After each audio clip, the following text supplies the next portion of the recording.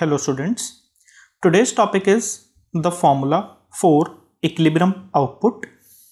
Equilibrium condition in the goods market is Y equals to AD or I can say that Y equals to A bar plus MPC times Y.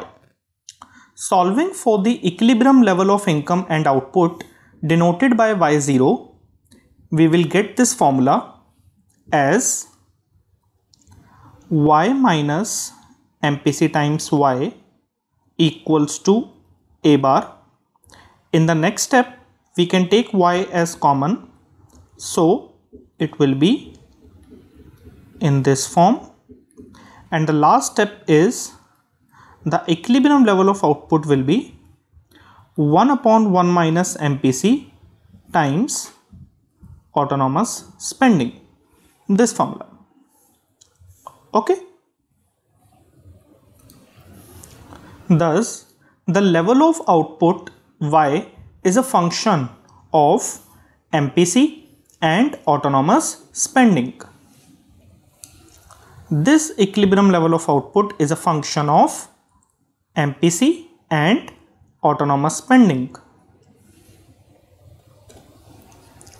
Now suppose that autonomous spending is given then there can be two cases. First one higher MPC and the other one is lower MPC. In case of higher MPC let's assume C1 equals to 0.8 and in case of lower MPC let's assume C2 equals to 0.3. In case of higher MPC there will be steeper aggregate demand curve because higher fraction of the increased income is spent on consumption and in case of lower MPC there will be flatter aggregate demand curve because lower fraction of the increased income is spent on consumption. In case of steeper AD curve there will be higher equilibrium level of output and in case of flatter aggregate demand curve there will be lower equilibrium level of output. As you can compare these two figures, in case of higher MPC there is steeper AD curve due to which the equilibrium level of output is higher and in case of lower MPC there is flatter aggregate demand curve due to which the equilibrium level of output is lower. In the same way, if MPC is given, then also there will be two cases. First one, higher autonomous spending and the other one, lower autonomous spending. Higher A bar means that there is larger intercept and lower A bar means smaller intercept. In case of higher intercept, you can see that the equilibrium level of output is higher and in case of smaller intercept, the equilibrium level of output is lower.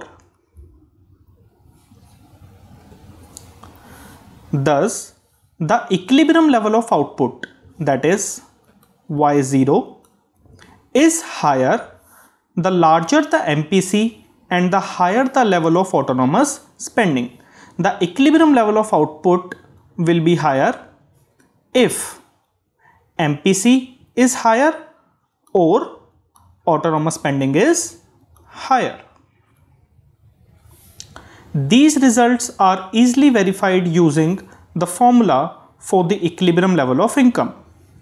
You can also check these results using this formula.